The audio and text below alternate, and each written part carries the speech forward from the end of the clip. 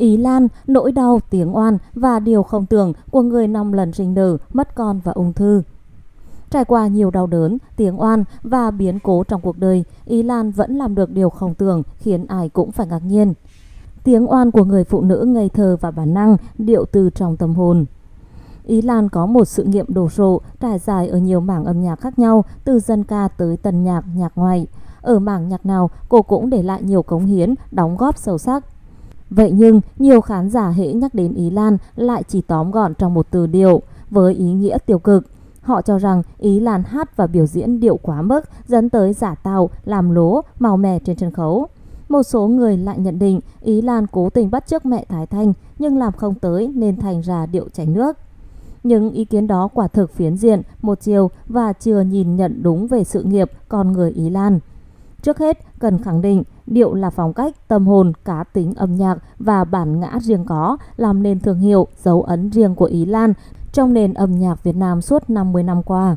Rất nhiều ca sĩ hát điệu nhưng điệu để làm nên cả một cá tính nghệ sĩ, phong cách riêng có như Ý Lan là xưa nay hiếm.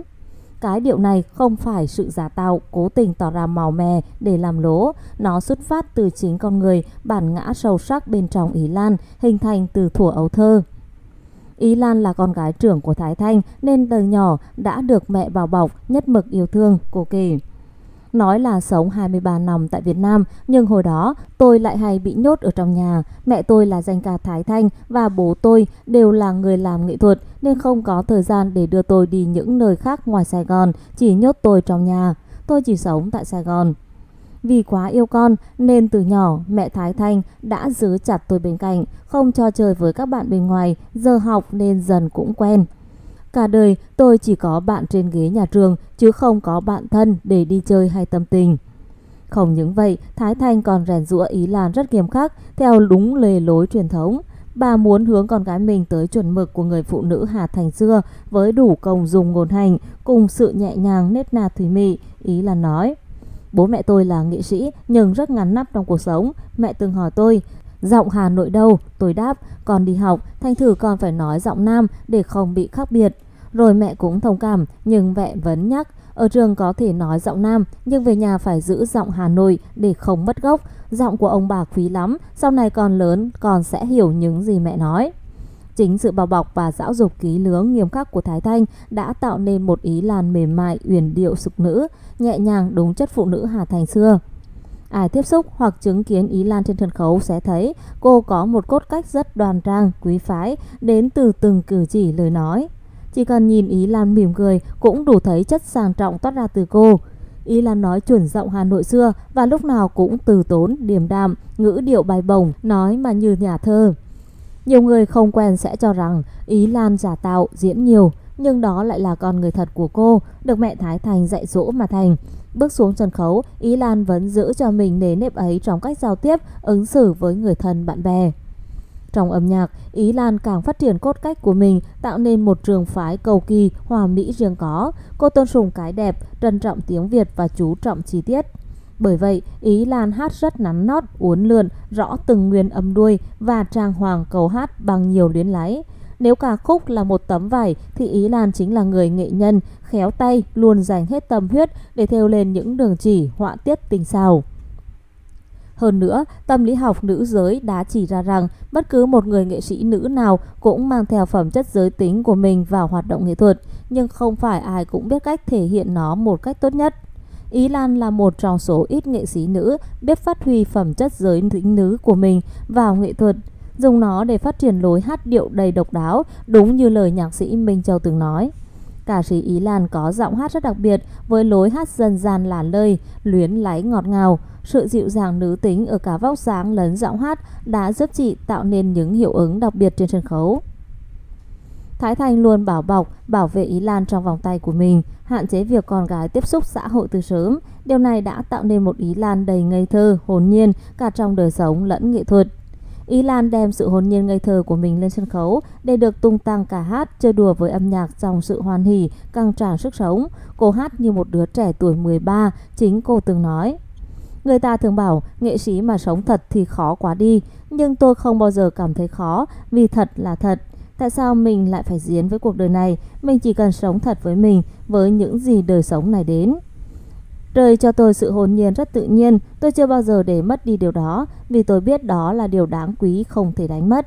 Nhưng khán giả chỉ thấy Ý Lan tung tăng nói cười trên sân khấu, nào đâu ai biết, cũng có lúc tôi khóc những giọt nước mắt rất mặn. Như vậy có thể thấy cái điệu của Ý Lan lại chính là cái thật nhất xuất phát từ sự ngây thơ hồn nhiên trong tâm hồn cô. Đồng thời đó cũng là nét tích cực của cô học được từ mẹ Thái Thanh.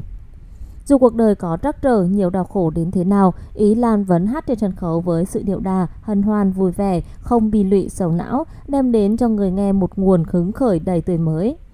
Cũng chính vì sống thật nên Ý Lan rất bản năng, thường chạy theo tiếng gọi của con tim, cảm xúc. Năm 19 tuổi, Ý Lan vì say mê với tình yêu xét đánh của tuổi học trò mà xin mẹ cho lấy chồng. Đó là một tình yêu say đắm, mơ mộng của thừa ban đầu, cô nói. Tôi yêu rất sớm, khi mới 17 tuổi, ngày đó tôi yêu say mê, mãnh liệt đến mức không cần biết cuộc tình sẽ đi đến đâu.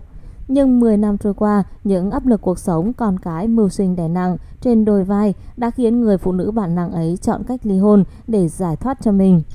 Sau khi chia tay người chồng đầu tiên, Ý Lan đến với Tuấn Cường, con trai minh tình Kiều Trinh.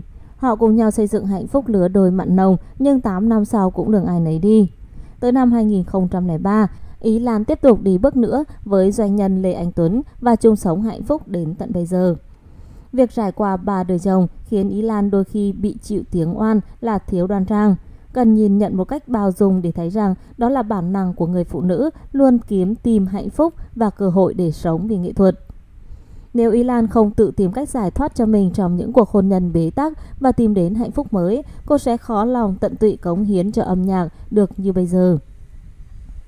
Nỗi đau ung thư mất con và thể lực không tưởng, đáng kinh ngạc của người mẹ từng năm lần sinh nở.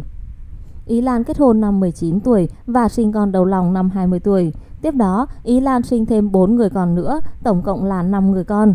Cô nói, tôi lấy chồng năm 19 tuổi, đến khi 20 sinh đứa con đầu lòng. Tôi mới hát từ nhỏ, nhưng mẹ Thái Thanh khuyên tôi không nên đi hát sớm. Mẹ bảo rằng nếu làm nghệ sĩ, con sẽ khó có thể sống với giờ giấc của một người phụ nữ bình thường. Mẹ vẫn mong tôi thành một y sĩ hay vì một ca sĩ. Tôi nghe mẹ nên chuyên tâm cho đời sống gia đình. Tôi sinh một mạch năm đứa con trước khi đi hát. Với người phụ nữ, việc sinh con sớm dễ gây ảnh hưởng tới sức khỏe. Vậy mà Ý Lan lại hình liên tiếp 5 người con và vắt kiệt sức lực của mình khi phải nột mình nuôi nấng, chăm sóc các con. Hé lộ nguyên nhân Ý Lan bị ung thư. Ý Lan là một nữ ca sĩ thuộc người Mỹ gốc Việt Nam tại hải ngoại. Cô đã có tên thật là Lê Thị Ý Lan. Cô sinh năm 1958 tại Sài Gòn, ở trong một gia đình nghệ sĩ khá là nổi tiếng. Để biết thêm nhiều thông tin về nữ ca sĩ Ý Lan, các bạn hãy xem những video tiếp theo của chúng tôi.